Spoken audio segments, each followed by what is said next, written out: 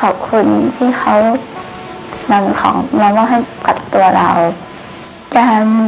เดินทางค่ะลำบากหนูต้องนั่งรถวีแชร์หนูรู้ว่าหลายๆคนอยากจะช่วยหนูก็พยายามที่จะช่วยเหลือตัวเองให้มากที่สุด หนูเลือกเกิดไม่ได้ แต่หนูเลือกที่จะเป็นคนดีได้ ก็ต้องรักษาศีลศีลทุกข้อสำคัญหมด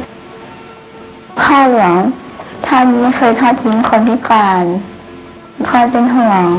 คอยดูแลเอาใจใส่สิ่งที่เราทำได้ง่ายๆคือการสวดมนต์